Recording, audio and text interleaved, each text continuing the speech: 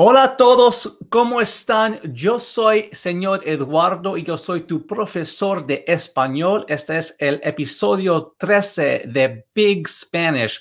Hello, Brookline. I hope you guys are all doing well. This is Mr. Ed, Señor Eduardo, and I'm here with you uh, from Rola Languages, World Language Institute located in Cambridge. So thank you very much for watching Spanish class with us. We are doing introductory Spanish for all you at Brookline who are interested in taking language classes or learning a little bit about the Spanish language.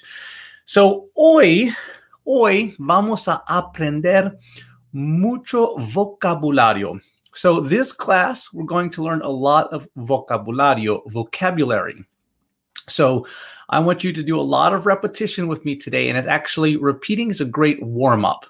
So get your pen and paper ready. I'm going to share your my screen with you, but make sure you are getting ready for this. You're writing the words down. Um, I'm going to repeat them twice and spell them one time so you can practice your alphabet and then I'll pause. There's actually a lot of words today. So I might just do some of them and then in the next class we can continue doing the other ones. Okay, muy bien. So vamos a aprender o comenzar con vegetales. So repeat after me. Vegetales. Muy bien. Vegetales. Vegetales are vegetables. Vegetables. Vegetales. Muy bien. Okay, let's go over this list. I'm going to disappear for a second and you'll hear my voice and just repeat after me on the right column. Capítulo tres. Let's go. La zanahoria. La zanahoria. That means the carrot. So repeat after me twice. And then I'm going to spell zanahoria. Okay, so zanahoria is Z A N A H O R I A. Zanahoria. Zanahoria is carrot. Carrot. Muy bien. Repita dos veces. La lechuga la lechuga. La lechuga is, muy bien, you can see it there, lettuce. Lechuga is L, E, C, H, U, G, A. Lechuga. La lechuga. Muy bien. Repita. El tomate. El tomate. Tomate se deletrea T O M A T E. Tomate. Say the vowels for me very quickly. Do you remember las vocales? Okay, muy bien. A, E, I, O, U. We've been repeating that a lot. So you'll see, hear them and see them as we're spelling this vocabulario. So the next word we have, repita dos veces. El pepino. El pepino. Muy bien. Pepino se deletrea P, E, P, I, N, O. Pepino. Okay. Cucumbers. La cebolla. La cebolla. Remember, when C is followed by an E, it's an S sound. So it's cebolla. And double L makes the Y sound. So la cebolla. Se, E, B, O, L, L, A. La cebolla. Onion. Okay, then we have el ajo. El ajo. Ajo is A J O, garlic. Mm, me gusta ajo. Ok, continuamos. We're halfway there, almost. El pimiento. Repita, talk out loud. El pimiento, bell pepper. El aguacate, the avocado. El aguacate, the avocado. Los champiñones. we have two words for mushrooms, we have champiñones, and we have hongos. So let's start with champiñones. Se deletrea C H A M P I N O N-E-S. Wow, that's a long one. Champiñones. Okay, and hongos is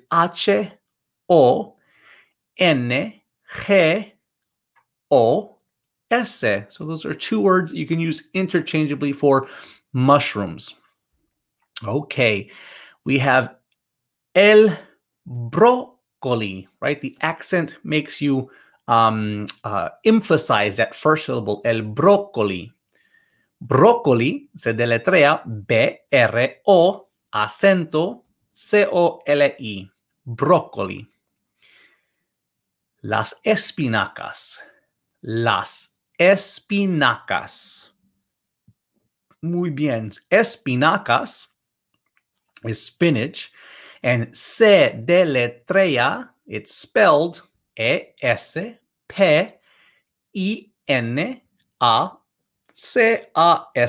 Espinacas. Los guisantes. Los guisantes. Guisantes is spelled G U I S A N T E S. Guisantes. As espárragos, right? So we have that accent, espárragos.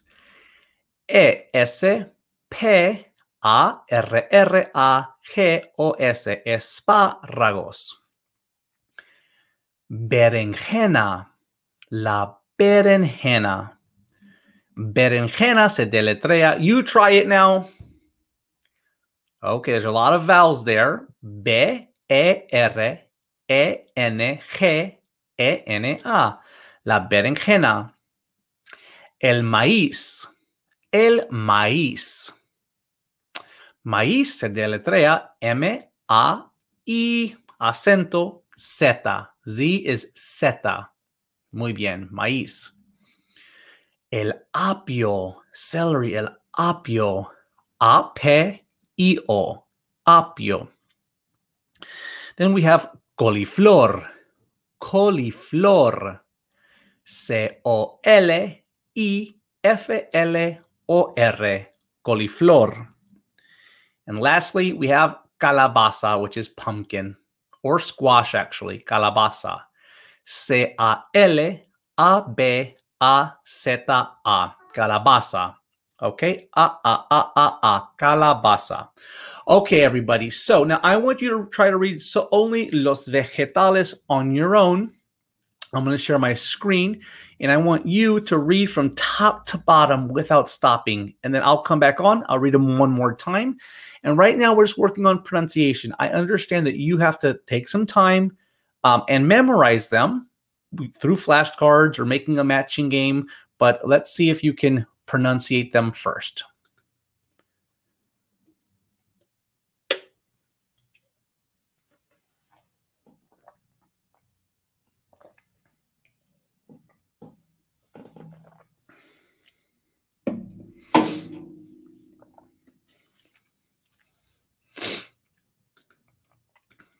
Wow, muy bien.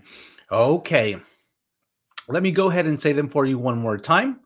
I'm going to say una vez un poco más rápido. La zanahoria, la lechuga, el tomate, el pepino, el cebolla, el ajo, el pimiento, el aguacate, los champiñones, los hongos, el brócoli, las espinacas, los guisantes, los espárragos, la berenjena, el maíz, el apio, la coliflor, and la calabaza. Okay, so let's take a quick pause there and work with some of these.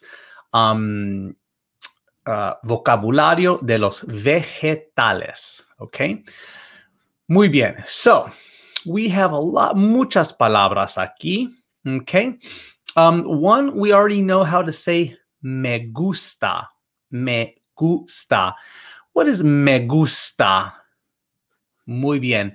Me gusta is I like. And I think you might have practiced this before. Me gusta or me gustan. So I'm going to add that to our banner here. Okay. So me gusta, if it's one and it's singular. Me gustan, I like. Both of these mean I like. We add that in if the word after it is plural. Okay, so for example, we have the carrot. Find the carrot on the list. I like the carrot, or I like carrots. Me gusta la zanahoria. Me gusta la zanahoria. Now let's jump down to the first plural word that I see there is los champiñones. That is plural, has an S on it. Los champiñones, plural. You would say, me gustan los champiñones. Me gusta, me gustan los champiñones. Okay, let's go back to the top to lettuce. ¿Cómo se dice lettuce en español? Ok, muy bien.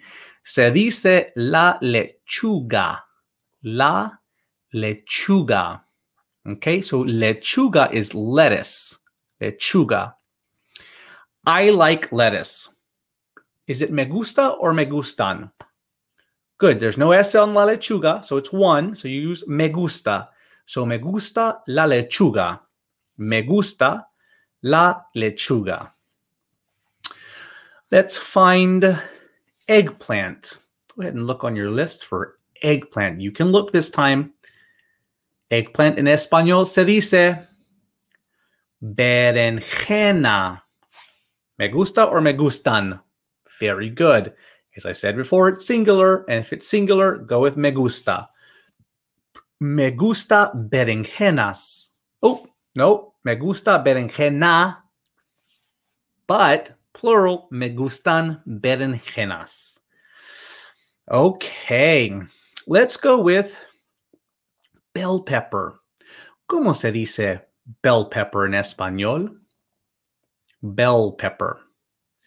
Okay, pimiento. Pimiento. Okay, so we have el pimiento, which is the bell pepper. I like the bell pepper. One, me gusta el pimiento. Okay, so let's do dos más. Two more. We have the corn. I like corn. So first, find corn. Muy bien. Corn in español es maíz. Me gusta maíz. I like corn. And lastly, I like mm, green peas. Mm. Green peas. Muy bien. Guisantes.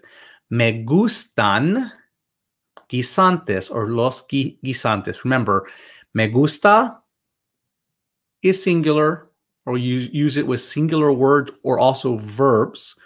Me gustan you use with the N, right? The N in the plural. So me gustan los guisantes. Muy, muy bien. Perfecto. So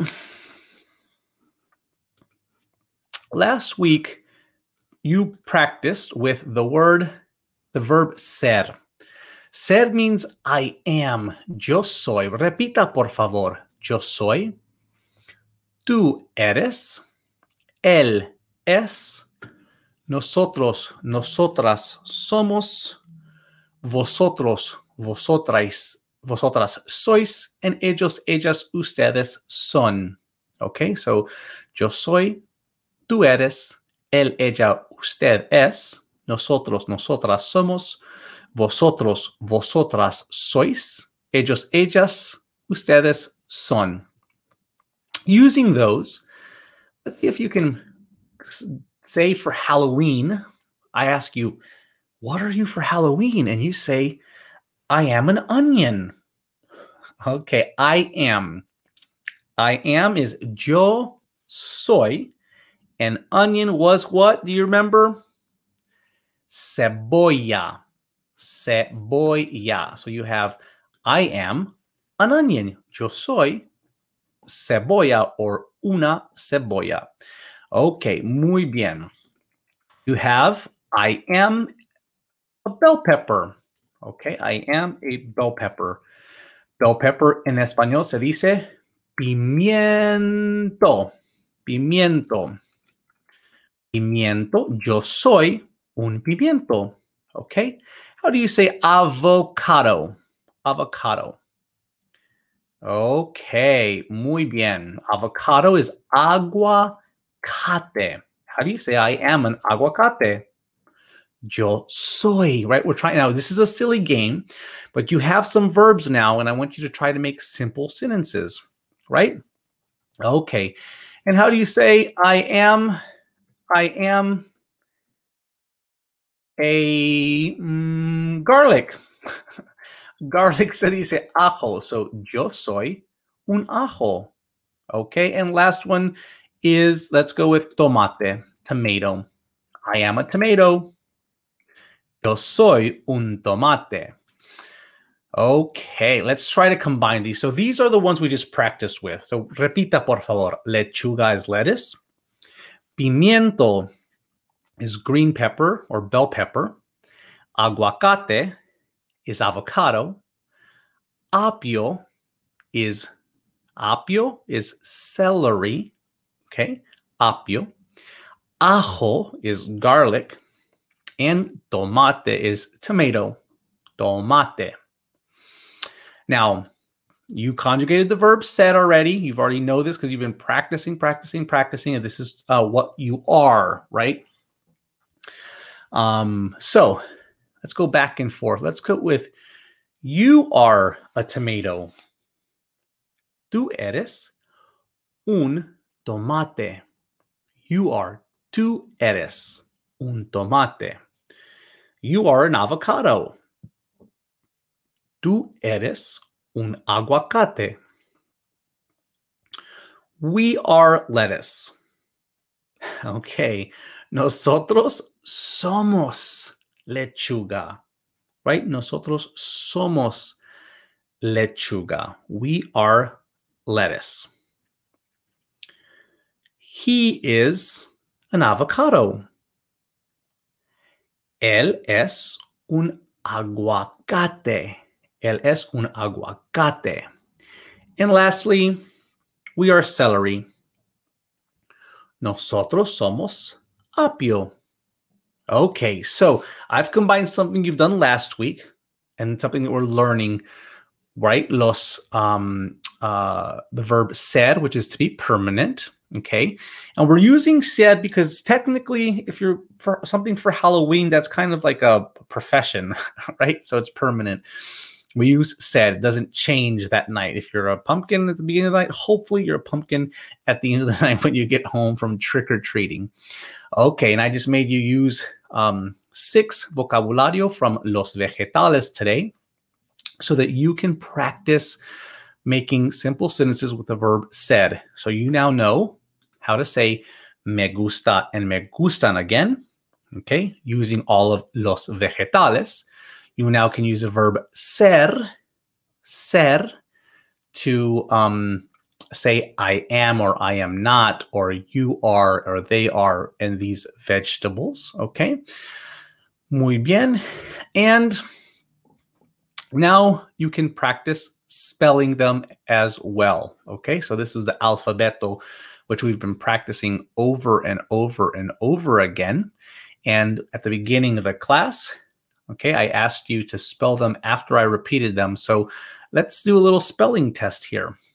Try, I know that you're saying these words for the first time today, but try to listen to the words, the, the sounds that are coming out of my mouth and see if you can um, just focus on the sounds, the vowels, the, the letters, and then spelling it. So for example, let's go with pimiento.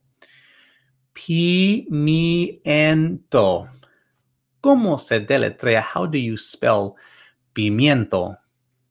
Ok, pimiento se deletrea P I M I P I M I E N T O. Pimiento. P-I-M-I-E-N-T-O, pimiento. Muy bien. Lechuga. Lechuga. ¿Cómo se deletrea lechuga? Muy bien. Lechuga. L, E, C, H, U, G, A. Lechuga. ¿Cómo se deletrea lechuga? Right? L-E-C-H-U-G-A. Lechuga. Dos más. Espinacas. ¿Cómo se deletrea espinacas? E S P I N A C A S.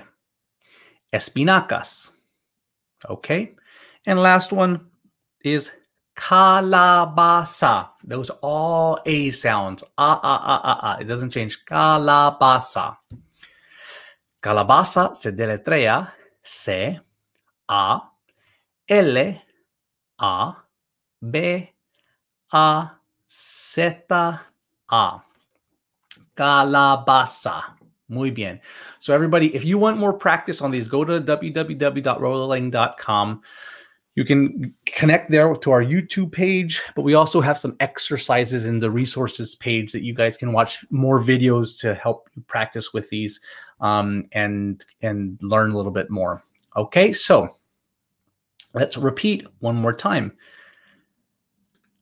Okay, repita por favor. La zanahoria, la lechuga, el tomate, el pepino, la cebolla, el ajo, el pimiento, el aguacate, los champiñones, los hongos, el brócoli, las espinacas, los guisantes, los espárragos, la berenjena, el maíz, el apio, la coliflor, la coliflor, and then la calabaza, la calabaza.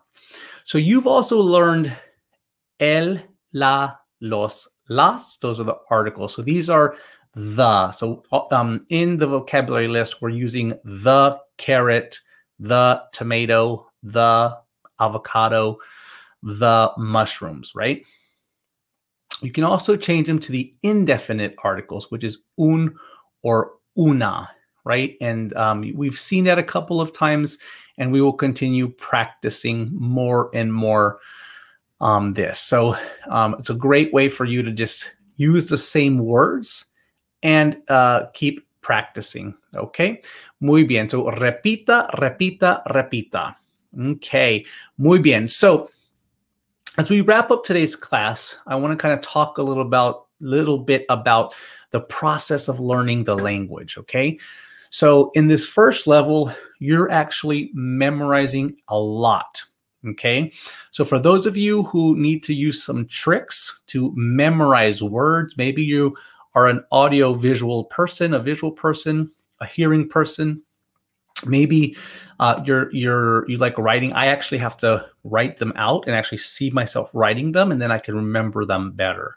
Um, there are some ways that you can practice on your own. Um, I recommend for all of my students who are listening this, if this is your first class with us online or watching this um, with BIG, Big, um, talk to the computer screen. Say the words out loud over and over again. I say repeat after me. I'm not saying repeat it in your head. I want you to actually verbalize it and, and say it because that's the best way for you to remember. Then um, do the work, right? So I'm giving you the list. You make flashcards maybe at breakfast, play a little matching game. Um, and then maybe then we now I've given you some verbs that you can use and some phrases to have you spell them. So tell yourself, ask yourself, ¿Cómo se deletrea this word? How do I spell this word? And, and then practice saying it. You can then make simple sentences. You have the verb ser and estar, and now you have me gusta and me gustan. And a few weeks ago, you um, also learned I want to be. Yo quiero. I want is yo quiero. And ser means to be permanent. So these are all tools that you all can practice with at home so that um, you know we're giving you this this first section of this chapter has a lot of words, right? You're not going to remember all of them, but I want you to remember as many of them as possible, okay? And as we learn more vocabulary words, and if you remember them, then it's going to be awesome because then you can uh, say the color of the vegetables, how many vegetables there are, 5, 10, 20, 30 of them, you can count them. But you guys are doing fantastic. I'm super excited. Muchísimas gracias. I will start talking myself and Señorita Erika will talk more and more Spanish to you all. So don't worry. We're trying to ease you into the process because we're actually not there with you and this isn't interactive. You guys, I'm trusting you that you're listening to me, Senor Eduardo. Muy bien. So, as always, you guys can go visit us at www.rolalang.com.